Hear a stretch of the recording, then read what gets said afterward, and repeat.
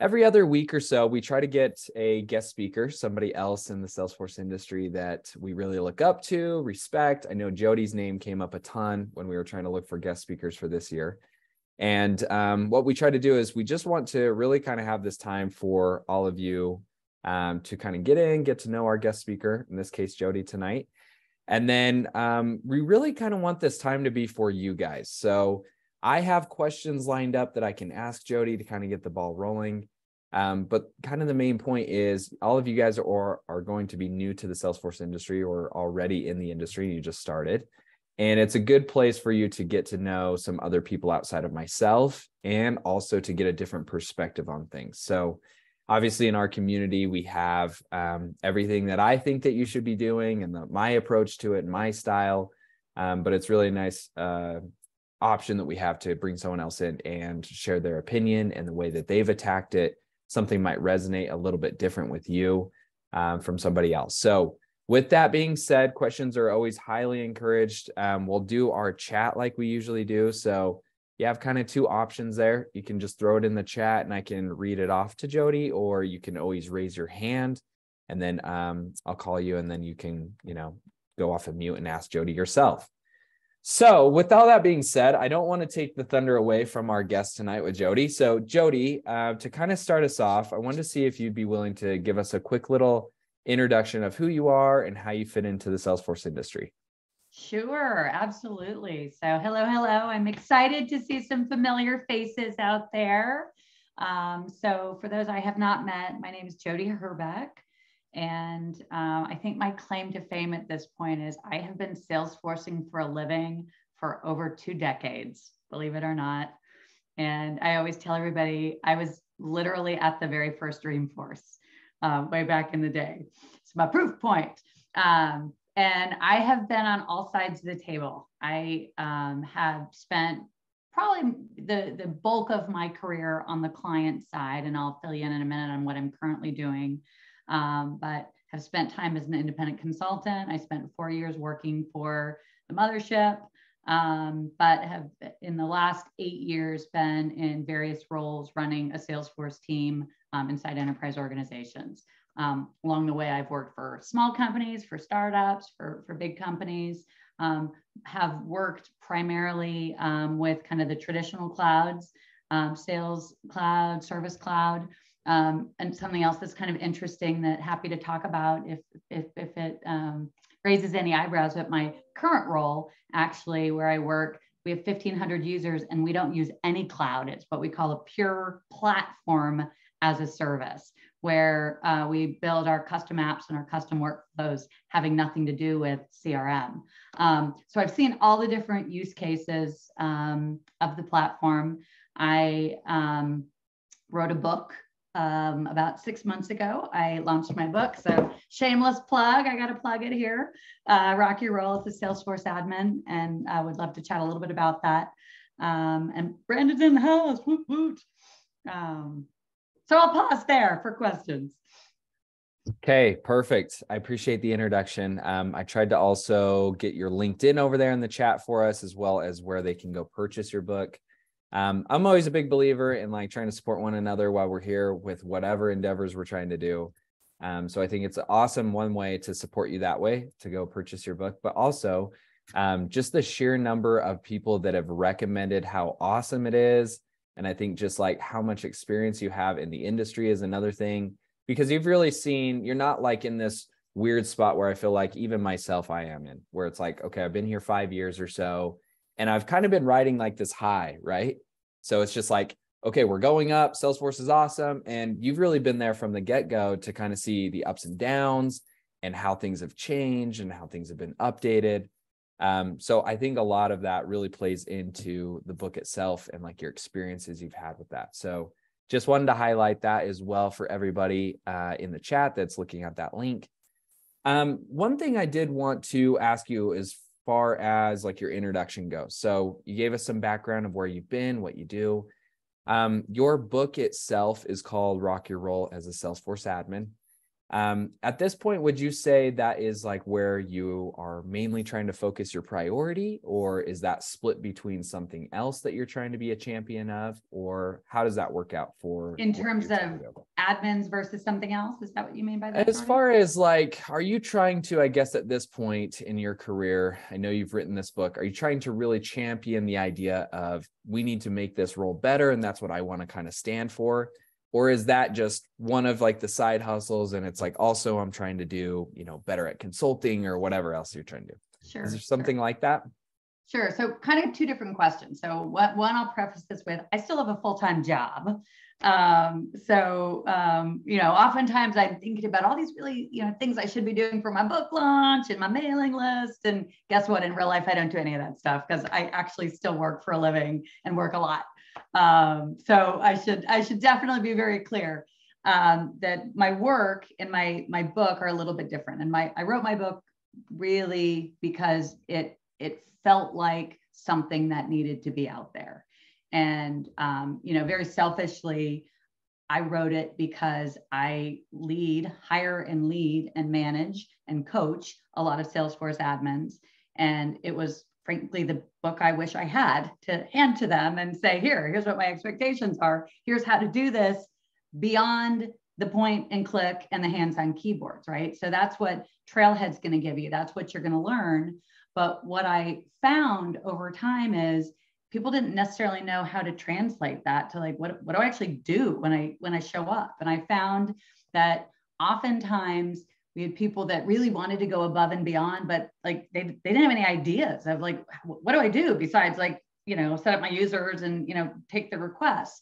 And sometimes it was really just empowering people with kind of the ideas empowering them with the understanding of the influence that they could have in that role that you know that made a really big difference. And i also found that a lot of people that you know i've talked to in the course of my career they work for people that aren't salesforce practitioners um, you know, maybe they're a solo admin, maybe they're part of a sales ops team or a rev ops team. More and more, maybe now they're part of a technology team, but still not necessarily working for Salesforce practitioners. That's not uncommon. And so a lot of these things that I think, you know, I and my team have taken for granted, I realized like, oh, that never occurred to somebody.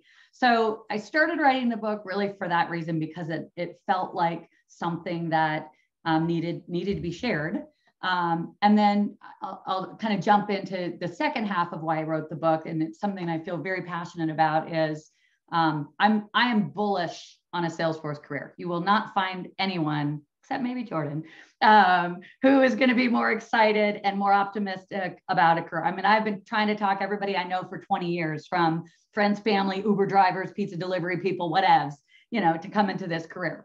Um, but I will also always be the first one to say, like, it's hard. This is not like magic pixie dust and suddenly I'm a Salesforce admin and I'm, you know, eating bonbons and golfing. Like, it is a hard career and we work really hard. It's the best. I love it.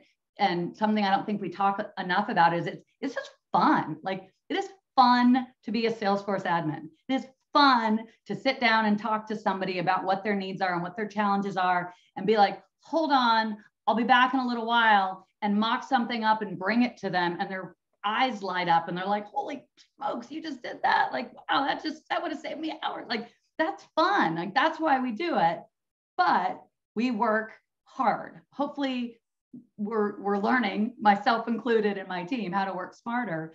But uh, the other reason that I wrote the book is I feel passionately about the fact that if I'm going to teach people how to over deliver and how to go above and beyond, which I think everybody should do, because that's really where you reap the rewards of this career, right? But I feel passionately if I'm going to do that, I also have to teach people how to do it without overwhelm and how to put up some business boundaries and how to talk about trade offs and some of those other things. So the, the book is in two parts and, and it's written for kind of, I'm going to say two different audiences or, you know, two different stages the, the first half, I'm guessing for this group of people is probably going to resonate more, right? It's the ideas, it's how do I add value, it's what kind of things should I be thinking about.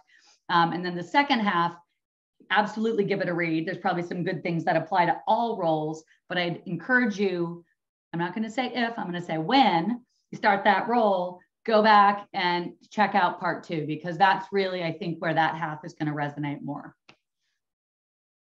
That was great. That was a great breakdown of what kind of inspired you for the book. I love that um, you took a lot of those experiences you've had. And like you said, it was like something you've kind of felt like almost like a calling for to say, hey, listen, like this is something I feel like needs to be out there. This is information that I would have wanted or how I would tell you how to do that. And what I think is so cool about people in Ohana that I really want to like kind of push that idea to create products or write books or you know post that blog whatever it is that you're thinking of because we all have a different uh, set of circumstances and we all have a different set of experiences that we go through. And really it's kind of our way for us to be able to do that at a large scale right? Because it's like you only have so much time in the day to sit there and jump on calls or do your thing to try to help people individually. Like you said talking to uber drivers and the whole bit um, but you can have this book where it like almost replicates you. It clones exactly what you would say to them. And then it takes that away. So it's just like, hey, you can now just go purchase this book. And this is exactly what I would tell you, anyways. So I love that. I love that you broke that piece down. And I'm a big encourager of that same thing. It's just the end of the day, we're all here to try to help each other. And we're all going to have a different style of the way we would approach it. So it's awesome to be able to kind of put something out there online or in written form like you have so that we can share that. Um, for some folks, I know I've heard this in our community um, as far as like a newsletter or a blog, and some have even expressed even a book. If somebody wanted to go that route, how would you break down? How did you go from this full time person in Salesforce? And is this your first book that you've written? I should have asked that before we started. So it is the first book that I've written. Okay. not the first book that I've published. Okay. So, fun fact, and I was looking around the room to see if I had one to, to show up, and I don't. A fun fact is my pandemic project, right? We all had our pandemic projects on lockdown. Is um, my my mother-in-law had passed away, and we uncovered a manuscript that she wrote. She was a private eye in southern Louisiana for 40 years. She passed away just about 80, she was 81 and had literally only been retired for a couple years. So from the 70s all the way up through the decades, imagine what she saw down there. So we found her memoir and she'd mentioned it once or twice, but she'd never really like talked much about it. And, you know, so we kind of were like, oh, whatevs, and pulled it out. It was like, this thing is good. It's a series of vignettes. So lo and behold, if you want a little light reading, it makes a great gift for parents and grandparents. It's called Granny PI and it is available on Amazon. We also um, we also did um, had an audio book done, and honestly, it was for me it was a that was a labor of love in you know honor of my mother-in-law, but it was also an opportunity for me to learn how to self-publish. So my book is self-published. And I spent a lot of time reading, watching classes, learning how to do it, learning, you know, what resources I could, you know, I needed to hire. So I had an editor, um, a book cover designer. So I did that once. And then honestly, I, we were still under lockdown. And it's like, okay, I've had this book brewing around in my head for quite a while. I don't even have an excuse anymore because I know how to do it and I can't leave my house. Like if I can't, I can't get this over the finish line now, I got a problem. So that really, honestly, when people say, "How did you do it?" the secret sauce was lockdown did not hurt, for the record. Okay, cool. So did you use some of those skills because um, you'd already kind of had to, uh, even though you didn't write it, still try to balance your current job and what you wanted to do with that to um, kind of do both projects? Were you able to kind of use some of those same skills? And if so what were those skills that you used to balance i got my current job and responsibilities yeah. there and then obviously your own life and then outside of that i'm also going to start writing and publish this book. Yeah. how did you do that? Yeah and what what i will tell you is i haven't always done it particularly well right? So let, let's be honest here is you know this this book got started in 2019 I left my job. I took a month off, got a couple certs. I was, uh, if you've read my book, you've heard me in a chapter talk about I'd lost my voice. I was in burnout. I was literally hoarse for the entire month. And that was, I sat down and, you know, knocked out a really good, solid draft. Um, and then I started a job, and as often happens, right, side projects go to the wayside. Draft went in the drawer, and it didn't see the light of day for two years. And I share this because A makes the case that like we work hard, but it also makes the case that like there's a season for everything, right? And where I was at that time, I needed to be all in on that role.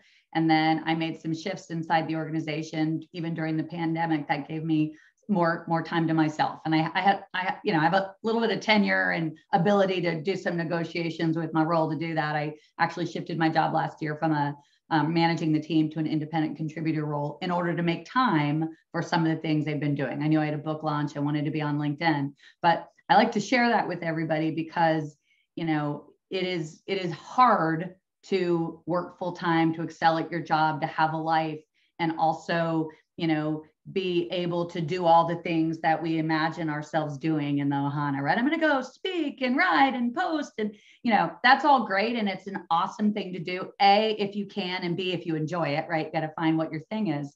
But what what I find is a lot of people feel bad because they're not doing enough or doing it well or doing it as consistently as they thought especially folks that have really had a lot of opportunity in the job search time period or while they were learning and then all of a sudden they go get their job and go oh man i've been working my tail off. You know what? It, it is okay and that's part of the reason i like to share the story jordan to say i didn't always do it well. I came i went i leaned in i leaned out. You know i i i spent you know i left salesforce in 2000 i don't know 9 or 10 and you probably didn't see me in public at dreamforce and certainly not on LinkedIn or anything for 10 years. Why? Because I was working my tail off and having a life, right? So I like to say that because I'm on LinkedIn a lot right now. And I think it, you know, sometimes it feels like, oh, well, shouldn't I be able to have my job and have my kids and have my family and do that? And not necessarily. So yeah, you heard it here first. Yeah, I really like that you shared that. So thank you. Um, and I think it's another good reminder to us as we, for a lot of us, right, that have grown up with social media kind of just a part of our lives, it's easy to forget that there is somebody on the other end. And it's easy to forget that they also have their own stuff going on in life. So, another big reason um, why I love just seeing people like yourself being so positive on LinkedIn and trying to share what you know and just trying to support that is because, yeah, at the end of the day, you don't need to be doing that. And at the end of the day, I'm sure you got things on your mind that you want to be taking care of or things that are going on that are stressing you out, just like myself. And so it just kind of adds another layer when you find people that are like trying to be negative towards that because it's like, one, don't even need to be doing this. Two, why try to like upset that process of somebody wanting to go out of their way to help us by trying to be negative about what they share? So love that you shared that because that that is like the real side of it. Um, I know Brandon had his hand up. So Brandon, feel free to jump off mute and ask your question. Jodi, how are you? Brandon, I feel like Good. I know you. Have we not talked uh, before? I know. How are you? Doing good. So so glad that you're on the call with us tonight. Um, I guess my question is kind of for the whole group. Um, you've hit at this kind of on and off on a lot of your LinkedIn posts, but I know many of us are looking to kind of land our first role. Um, you're you've been a hiring manager. You've kind of been in a lot of different roles. Um, outside of obviously getting our certification, like what are some recommendations um, of areas that we could really focus on? So when we step into the the role, we're prepared as far as like these. You know, I know I saw a post one time you said like reports and data loading, and so that's my first question.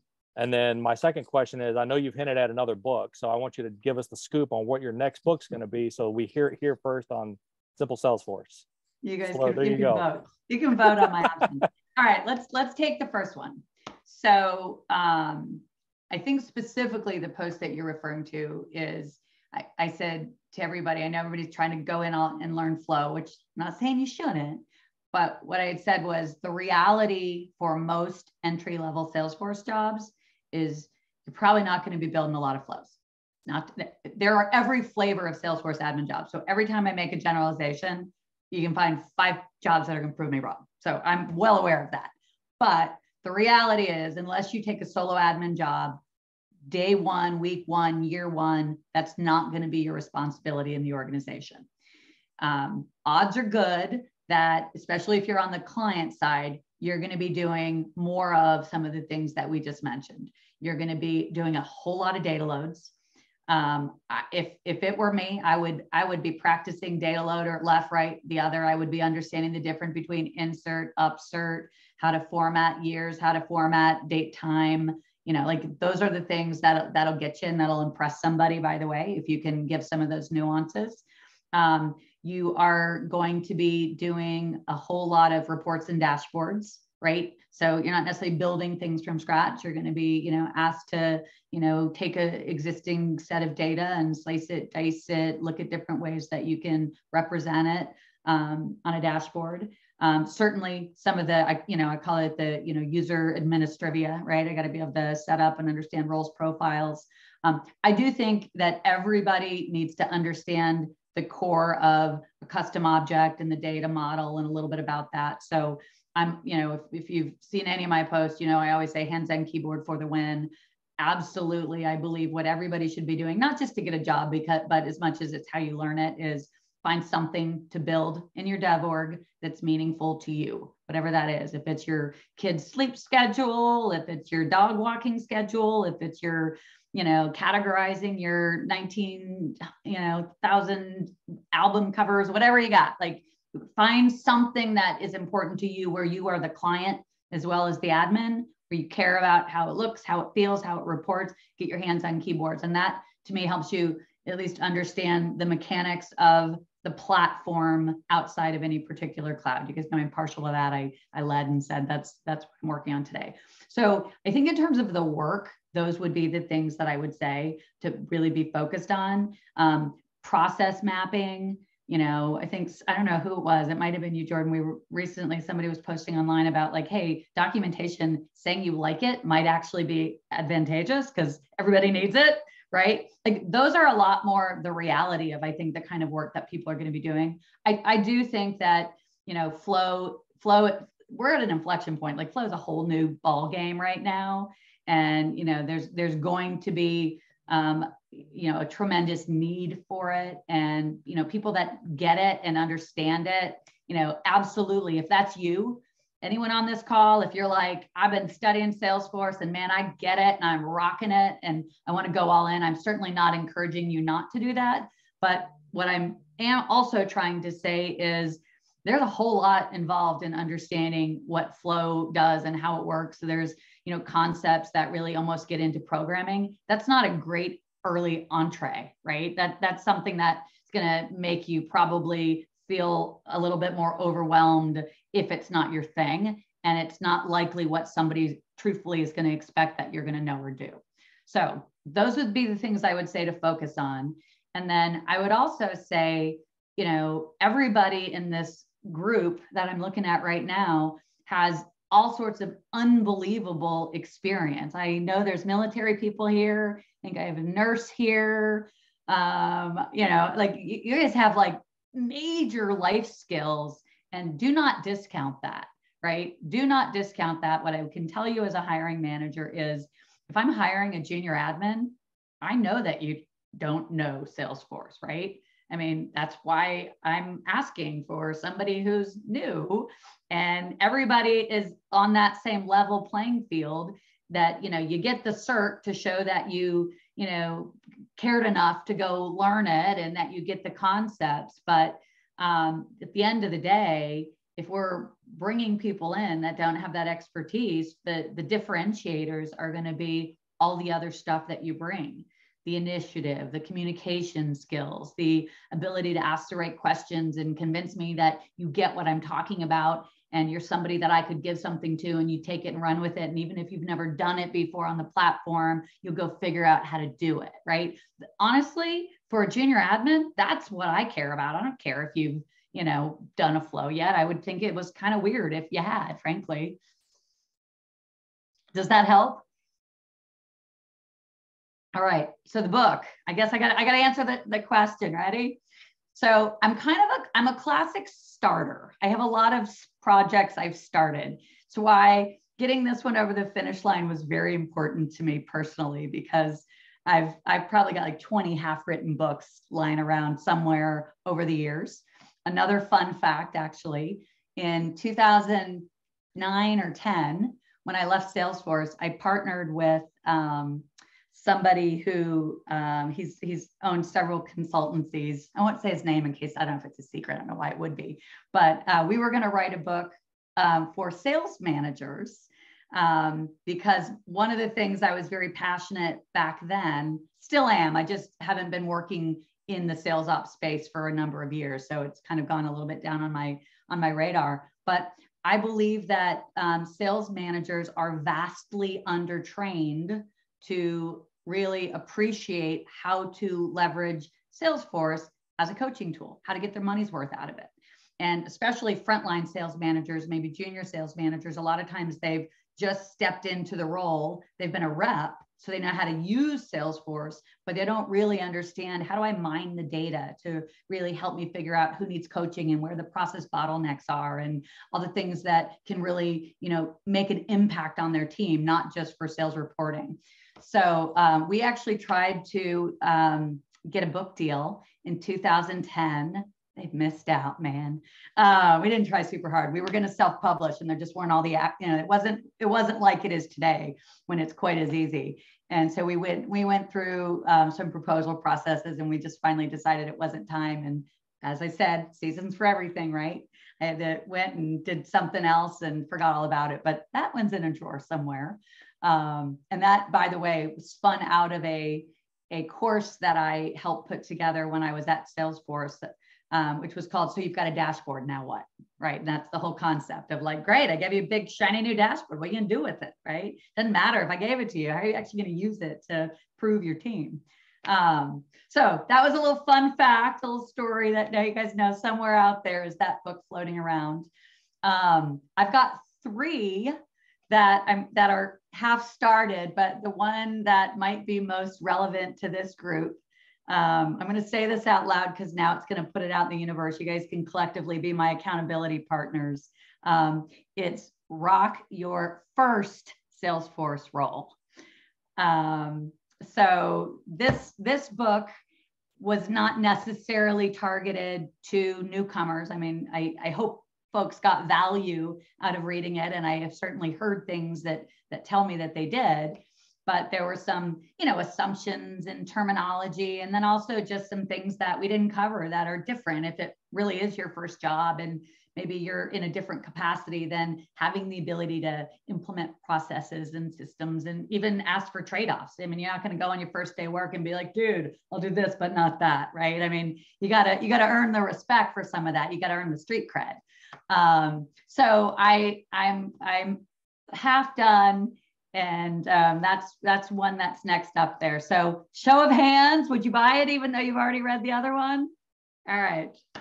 So so you heard it here first. I'll keep you posted, but that that's hopefully next on the list. Awesome. Thank you for the breakdown. Brandon, did that answer all of your questions yet? Yeah. Okay. Okay, Vera, I know you've had your hand up for a while, so feel free to jump off mute so you can ask your question. Hey Jodi, it's nice to finally meet you. I've been reading your posts for a while, so it's awesome to be able to talk to you. I have a question. This is more on like the like just curious side. So you've hmm. seen Salesforce from the start. You've been through a lot of the changes that Salesforce has gone through. So if you were magically put in control of like Salesforce's feature development, what's at the top of your wish list of features or like platform support that you would add? Ooh. do I have to pick one?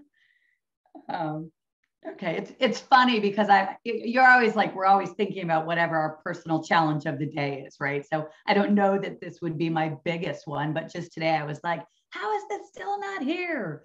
How how is it that when I um, launch an approval process, I have to lock the record? I don't want to lock the record. And now I can't do all these other things that need to happen in tandem while this is being approved. So today, that would be my answer. I don't know in general that that would be the highest one on the list, um, but I would I would say that for sure. Um, I think when I like kind of take a step back from obviously that's what I would call a nitty gritty feature. Um, when I when I take a bit of a step back from a nitty gritty feature, what what I would tell you is I wish they didn't go all in on flow. Um, I I'm I know I'm I'm a bit of a naysayer in, in this regard, but um, and what I mean by that is it's got a much higher learning curve than certainly than workflow back in the day. And um, you know, process builder was a little bit more complex, but you could sit down and show somebody how to build a workflow in five minutes, right? I mean, I've I've had a career out of you know helping successfully transform executive assistants and team coordinators into very successful admins because you could and they they did amazing things that they learned quickly and um, flow is a little bit more intimidating and it's just hard i mean you're not going to sit down in five minutes and do it you might make your way through it but you're probably going to break something in the process right? Because you're going to get your loop and you know who knows what you're going to do.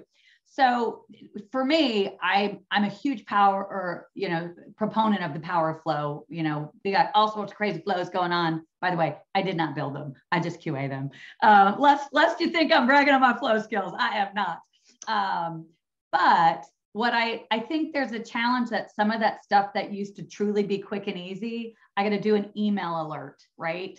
Even just an internal alert. I've got to do a very quick thing where, you know, I need this checkbox to check or whatever it is. I think we've overcorrected a little bit. Whereas, I mean, man, you can do a whole lot with clicks, but not code these days.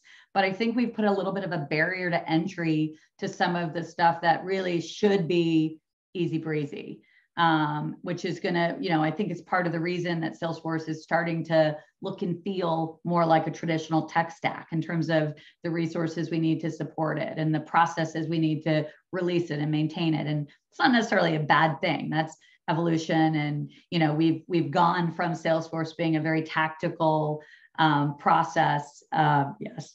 Um, and you know now it's a big enterprise strategic platform and so we got to treat it differently but there's a little bit of a trade-off. Am i the only one that finds flow intimidating? It can't just be me right?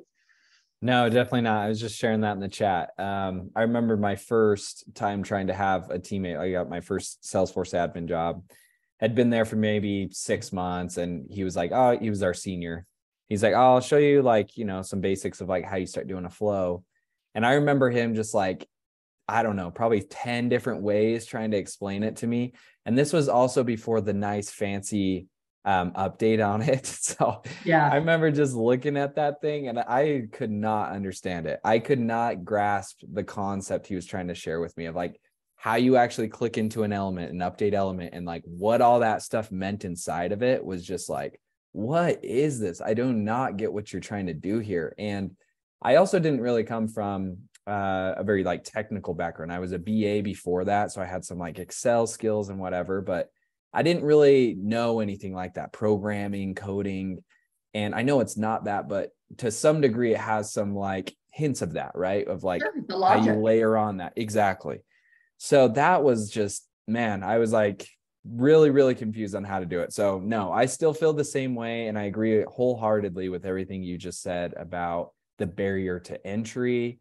And it is going to be interesting over the next, I don't know, a couple years now that they really are making like everything flow um, because it is putting this pressure on these admins coming in to just like know how to do that because there's there's no longer these other options right like there technically is but we're not really supposed to be using it and there's also this like confusion around well, before it was one flow per object, and now is it do we do multiple because we don't do workflows anymore? We don't do process yeah. builders. So it's going to be weird in the next couple years as they figure this piece out for people to go back and look at environments, I think, and be like, oh wow, yeah, like this is kind of messy now because we didn't know what we were really doing in that time frame.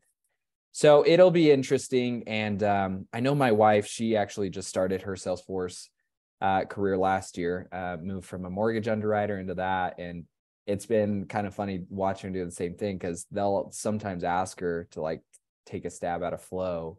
And it's like, man, yeah, I would not expect you to know how to do this. You know what I mean? Like you just started, you're just trying to understand what Salesforce is. And now you're trying to get in here and do all this complex logic, which is kind of difficult. So um, I definitely agree with all that.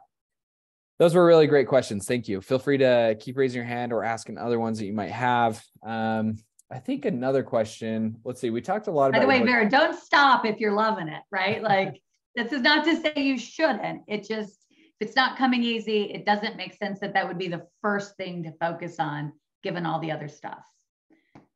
Yeah, 100%. It's not uh it's not the same advice. And I like what Jodi said earlier too, even kind of quoting her own book where it's like a lot of times these are generalizations too. We're not trying to say specifically for every person this is what you should do.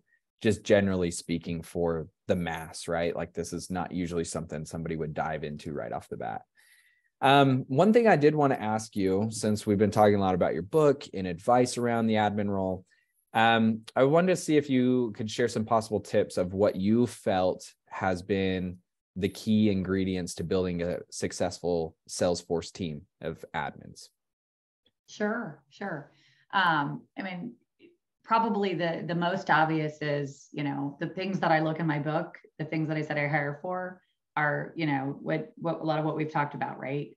Somebody who's proactive, somebody who's intellectually curious, um, somebody who's thinking about problems before somebody else knows that there's a problem, right? Those, those are really important skills. Um, I've been really lucky. I've hired great talent, and a lot of teams have been with me in some way, shape, or form. I always, I'm always going, wait, remind me again, who knows who here? Because we've all worked together and, you know, like these three and when I'm over there with these three. So, um, so, you know, that is an, also another big piece of it is finding teams that people that effectively communicate, collaborate, no, no pride and ownership, right? Willing to help. Um, um, you know, uh, one one thing that's you know I've also found is we trying to figure out what everybody's good at and what everybody loves and what everybody's not good at and what they don't love. I mean that's that's the thing I ask my team regularly. What do you want to do more of? What do you want to do less of? If you never had to do X again, what would that be? Because what's interesting is, you know, for everything that you hate, somebody else loves it. It's their favorite thing. I'm horrible at Excel, by the way. It's my dirty little secret. Um, horrible. Um, and so I hire teams that like rock the Excel and, um, you know, that that's, that's the way it works. I, I, you know, you can wind me up and put me in front of any group and I can train people on the fly and I can sit with any level of business user from, you know, my most junior up to my CEO. I can do that. I've got, you know, people on my team that, you know, break out and sweat and they say, whatever you do, like, don't make me put in front of people. So, you know, it's really finding that mix. And part of the reason that I am so bullish on the Salesforce career is it's there's something for everybody. Like it's a very broad spectrum. It's not, it is not a thing. Even even the admin role or the consultant role, it's not a thing. There are a million flavors of how you can Salesforce. Salesforce in a big company or a small company. If you're in a small company, you're going to have a decidedly different kind of day than if you work in a big enterprise that's got a lot of rigor and rules. And some people love rigor and rules. Some people say, I want to like jump in and do it all. Some people want to have that front, I call it front of the house, right? Where I interact with users and I'm also training and I'm also kind of wearing the BA hat. And some people are like, I almost would like to sit in a room and code all day, except I know I'm not actually coding, right? Like there's every flavor in between and that's why I love the the ecosystem. That's why I'm so bullish. Why I say to everybody, there is a role for you, and you, and you, and you. They're all going to look different. Might take a little harder to find it. You got to find your flavor, find your niche, but they're out there. And then even on a single team inside an organization, the skills look different, feel different. There's different personality types, and to me, finding what lights everybody up generally also is what they're good at, right? Um, and it's also one of the things, by the way, that I talk to people about in the interview process is I always ask, like, tell me about what you love and what you don't love. And it's not a it's not a gotcha question. Truth of the matter is, guess what? If you tell me you love XYZ and you hate this, and my job is a bunch of this, and I don't have any XYZ, like it's not that you weren't a good, you know, candidate. It's you, you had to come here and been miserable. And so there's an element of that that I asked everybody to really remember and consider and also you know to be honest because the last thing we want to do is get the job just to get the job and be like oh my god i'm doing all the parts of it that i actually don't want to do. I actually want to kind of be part of a business team and business operations and i landed smack in the middle of technology or vice versa right? Because those are the different flavors of admin jobs. So those are things to be thinking about um, as as you're out there. And, and and even in the beginning when you're in your first couple roles like i always say pay attention pay attention to what parts you like. Doesn't mean again we gotta we gotta earn the right to give that back right? It doesn't mean week two you're like i'm sorry dude this is not lighting me up right? Usually does not go over well so not advice for the first year won't be in my book. But it is part of kind of the beauty of again getting the street cred earning that reputation whether it be in a company or when you start getting recruited out I don't do jobs I don't want to do anymore. I don't have to. And I say that not to brag, but to say like that's part of, you know, the benefit of establishing yourself as a reputation. It's why it's worth going above and beyond, again, doing it with those business boundaries, but it's so that you can figure out what those parts are and and shape a job and shape a career that fit you. And again, I love this career because regardless of the you, there's a way to do it. So, you know, it's gonna it's gonna be what you need. And not be so shabby from a paycheck perspective, might I add. That's great advice. We had someone uh, last week, Kalen Moss, speak to us, and he's really kind of turned his career into more of like marketing cloud, and he shared very similar insight. Um, and being now uh, in the consulting world, now that I'm doing that, I've also noticed the same. Like I work with um, a company here and there when they have stuff that they can't take on. And their niche it feels small. I'm sure it's not. I'm sure there's tons of people that do this but it's literally just starting people up that just purchase salesforce. They're spinning up their work but it's specifically for like pardot. And it's like that's what they do. That's only what they do. And if it's outside of that scope they're passing on it which i guess when you first start your role i feel like that's almost counterintuitive because you kind of want to go in be this jack of all trades. Oh, I can do this, I can do this, I can do this. Um, but I think your advice is really key of it's not really about that. It's really trying to figure out, okay, yeah, maybe do that to begin with, experiment with it, see what you like and don't. But then from there, really double down on the things you do like that coupled with your strengths. Um, like you said, some people might really enjoy speaking with stakeholders and other people hate that you know? So it's like really trying to figure out that balance on the team of like okay in those situations as a team leader or somebody else on the team who do we actually want to kind of take that type of um, ticket or that take that type of role? Um, so i love that. That was really really good advice. Um, let me see if there's anything that came in here. I can't remember. Yeah i'm bad at reading questions no you're good.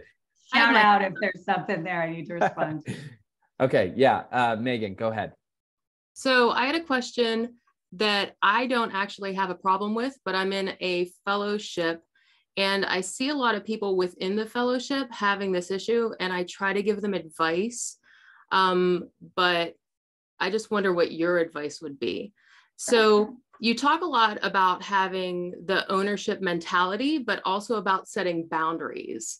Mm-hmm. And I think because I've been in leadership positions before, so I was a professor for a lot of years. And in that role, you know, like I'm the one giving grades, I'm the one with the information. So I don't have a problem, you know, sort of setting boundaries. Um, but in the, you know, with that ownership mentality, you want to go above and beyond. But when setting boundaries, you know, you also want to let the people that you're working for know, you know, like I'm not going to be here 24 hours a day. And a lot of people who are in the fellowship with me are having a hard time adjusting to that and doing both of those things. Where I'm like, you know, just let them know you'll get to it tomorrow. You know, don't like my time's done. My laptop is closed. Everybody knows, you know, like my team's thing is off I'm done. Right. But there are people who are still working, you know, even when the hours are over. So I just wondered what your suggestion would be for me to, you know, help them out. Yeah. Yeah. So there's a lot there actually, right? So um, I think I think some of that is understanding when you go take a role, what's the culture, what's the expectation, right? And to a certain extent, you can ask that and they'll tell you. To a certain extent, that you um, might even just say, "Hey, would it be okay if I, you know, I'm so excited to work here. Could I, could I, you know, potentially get on the phone with with a coworker and just have a get to know you chat, something like that." Like you can ferret some some of that stuff out. Um, some companies will be very straightforward, like you know, we we we do, We're, especially consulting. I don't know if you're fellowship in a consulting firm, but you know, consulting firms have client engagements in slightly different hours, and it's a different type of thing than in-house. In-house people also have different expectations, but they consulting firms will usually be a little bit more upfront with what the expectation is, whether it be travel, whatever. I should also add, um, you know, we also do deployments on weekends and evenings. Like that's another thing to know if you're going into this business that you will work weekends and evenings at times. Doesn't mean you should do it every day.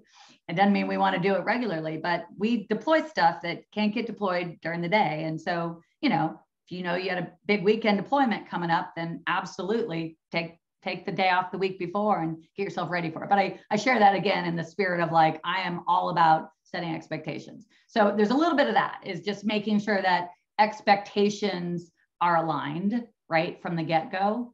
Um, I, I like to say, you've heard me say a couple times, like, I don't actually believe when I talk about setting boundaries that the answer to that is my first week of work. I'm like, sorry, dude, I'm not doing this. Like, like there's a certain extent, right, where you to a certain extent you you've agreed to be there you thought that was going to be the right thing. I'm going to be really honest part of it is you got to suck it up for a while right? There is something to that. I know it's counterintuitive to my whole second half of my book but that is part of it. You you go you prove yourself you work the extra mile. Obviously if we're talking about something that is a toxic situation i mean i'm not talking about that. I'm just saying there's there's sometimes we're in the middle of a project man. It's crunch time like it is crunch time. We're going to work a lot. We got to make sure we've got figured out in advance with the team, so we know if we've got childcare and all that stuff, right? Um, exactly. But what I will also say, why I think these things are not necessarily incongruent, is part of setting boundaries and part of what I try to do in the book is how to do it so that they don't even realize you're doing it, right? That, that's that's the trick the trick isn't that you're like talk to the hand i'm busy or you know the, the trick is to say absolutely i'd love to. Let's see what else is on my plate. Can you help me prioritize which one um, can wait? Right? So i'm i'm they didn't hear me say no. They heard me say yes and nod and smile.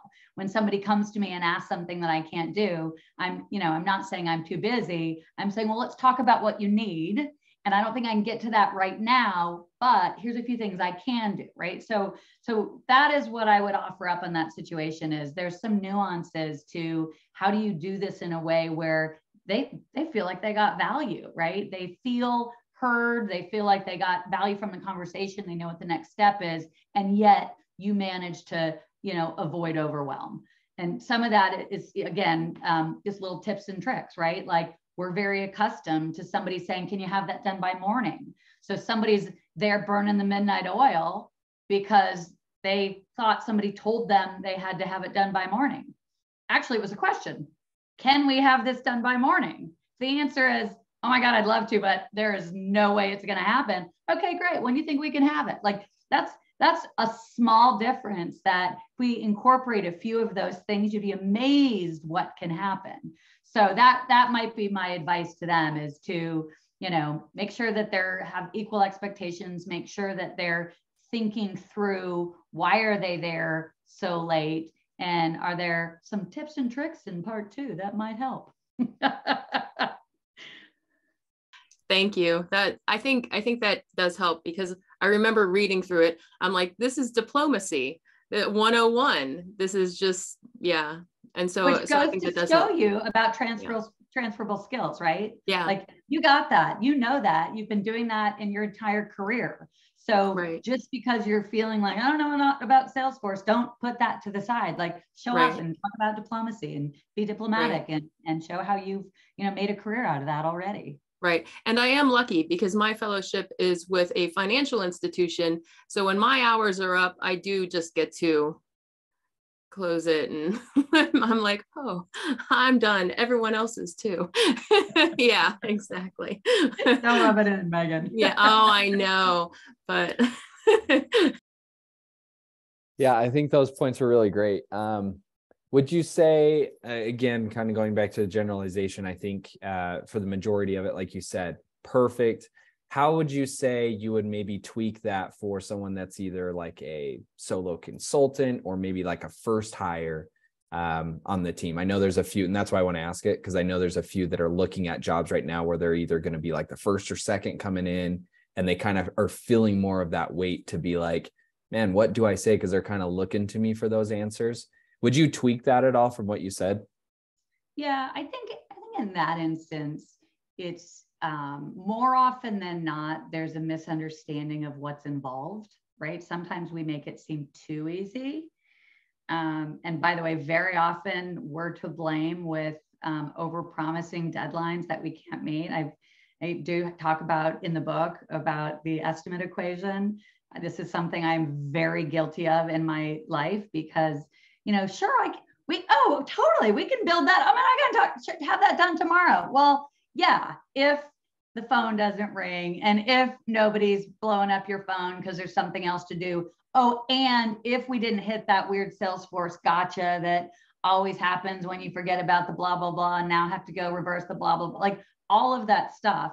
And i you know i for one am horrible about it. So i think that's an important thing is for us to hold ourselves you know to realistic deadlines but also for people to understand all the pieces and parts right? What what's interesting to me is more often than not, I find when we're doing something, we can get it to 75% or 80% really quickly. You know, we can mock something up, we can get the report built, we can do whatever. And it's the devil's in the details in loading the data or talking about how we're going to train it or actually talking about the deployments, whatever all the other stuff is. And we forget to talk about that. And our business partners also forget to hear that or don't hear that or choose to not hear that, right? Or just don't know about it. And so they're like, Jodi, I sat in a, a meeting with you a week ago. This thing was almost done. What have you been doing? Well, yeah, they didn't know that again, other things, but also that there's a lot of things that happen, you know, behind the scenes. Um, I think I think also um, it's not uncommon, whether it be for a technical challenge, whether it be for a data challenge, whether it be for just business process challenge, to make sure we're communicating that up, right? Um, a lot of times we think we're personal superheroes. And even though somebody handed me the data file that I thought was going to be pretty clean, and now I look at it and realize the entire thing needs to be scrubbed and formatted and deduped, sometimes we think that that means I have to stay up late and do it right? And that's where I think some of the overwhelm comes in. So it's, you know, always erring on the side of, you know, it's not your responsibility to be a superhero and not sleep for a week. It is your responsibility to raise your hand as quick as you can and explain in detail in context what the issue is. It's not like this data sucks, right? It's like, let me give you some really specific examples of some of the challenges we're having. You might not be aware that in order to you know, load something like this, we actually need to do this and this and this. And what I'm finding when I look through this is da da da. So, and also with a solution in hand, right? That's another just good business tip. You guys all know this from your experience that um, I'm also going to go there and say, so here's what I'm going to propose. It might be the trade off. It might be I need more resources. It might mean how about if, whatever those things are. But I, th- I do think those are kind of learned behaviors um, and actually for somebody in a in a solo spot i'd say like learn them sooner rather than later right? Because you don't even have friends to keep you honest. Friends in in in the job. I'm sure you have lots of friends to keep you honest. Uh, that was really good. I appreciate answering that. Um, and one thing i we were actually just talking about this a little bit earlier vera and myself um, where you get into that bias where everybody kind of assumes that you have that same common knowledge. So what you touched on, right? It's okay, I learned how to do this thing and now in my head the the instructions to do that thing are simple. But I'm also calculating, well, yeah, this could go wrong, this could go wrong. But in my head if it goes right, this is a pretty simple straightforward thing. And you almost oversimplify it when you get into that habit by this other person that has no idea what you're talking about they could think this is like a 10 as far as the difficulty and maybe it's not but that's what they're thinking. They have no idea. And we get into that habit of like oh well yeah this may i could probably have this done tomorrow. And you start to word vomit a little bit on your like deadlines and things like that and you don't need to. Um, the reality is they have no idea what it is that you need to do. And um, I think that's that's been super helpful to try to break that habit. One follow up question to that was you talked about trying to raise your hand and communicate that as fast as possible. Is there any other tools that you've used um, or seen used to help communicate like the complexity so that your stakeholders can start catching on to being like, oh, actually, this is a little more difficult than I expected? Yeah. So um, it's it's I wouldn't call it a tool and I wouldn't call it particularly sophisticated, but um, I do train my stakeholders. I mean, everybody knows I have a I have funny Jodi speak, as everybody says, which is I tell them what's easy breezy, I tell them what is complex config, and I tell them like bigger than a bread box and really tangly. Those are my words. And so if you work with me long enough, you know what those things mean. But, you know, and again, I'm being a little tongue in cheek here, but I, I do literally with people that I work with regularly, they know when I say easy breezy, it means no problem. We got it. This is a ticket. We'll turn it around in a day. They, they we we talk about it. We put, you know, orders of magnitude around it. And, and one of the reasons I think this is so important, Jordan, is where there's value to be added is not just us remembering to tell them what's hard it's also to surprise them with what's easy right that's that's where we can add value because a lot of times they're not going to ask for things because in their head i figured that was really hard. It's actually what they need and what they want but like i had no idea like you can give me a knowledge base in like a day with like a thing that's out of the box like things like that they don't know or you know a path. I mean this think about all the things that we can flip on with literally a button or you activate a feature and like whoa it's there. Like they don't know that. And so part of our job is articulating you know the context of what's difficult but again calling questions out that things that maybe they didn't ask for to say something like um, hey would it add value would it be useful if i could you know, XYZ, whatever that is. And, you know, that's where you start getting the points on the board. So, you know, use, and, and, and again, I would say, you know, they might say, well, yeah, but we don't really need it. And I'd say, what if it's a quick hit, easy breezy? Oh, yeah, we want it. Right. So this is where requirements are, I always use the word people laugh at me. I don't know why. They're fungible. Like there's no such thing as requirements. They change with context. I used an example recently. I just moved, I bought a house. I swore I would never have a swimming pool again. I had one 15 years ago. It was a mess of my life. I swore that I swore that I needed, you know, one story and and and. Well, guess what? I live in a friggin' two-story house. There's a stupid swimming pool, like all this stuff because the context changed. And when they served it up to me and said, "Well, what if you can't have this because there's a trade-off involved? But what if you like?" Sure, all of a sudden things changed and I made different decisions. And the things that I said were must-haves really weren't. And that's really holds true more often than not for things that our business users are telling us are their requirements as well. Yeah, I don't know how many projects I've taken under the that assumption before I got a little bit better at that and being like, well, dang, this sounds like I should have to do this. I stay up all night doing it or a weekend, like you said. I turn it in or I get it done and I think that it was like a code red and it's like, oh, okay. And then they get back to it in like a month and you're like, dude, I just spent all this time. Like I thought it was a code red and it really wasn't. It wasn't actually as big of a deal as the person made it. Um, so it is trying to like stay in check with that. That's really good advice on how to try to figure out the balance there.